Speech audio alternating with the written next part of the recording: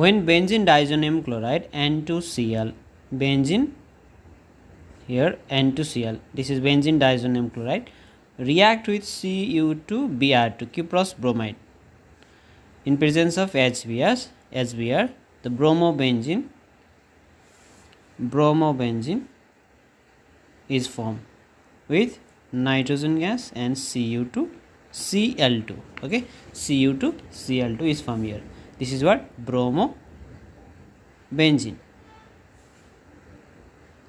So in Sandmeyer reaction we can use benzene diazonium chloride or benzene diazonium chloride react with cuprous bromide in presence of HBr or cuprous chloride in presence of HCl the product form is haloarene.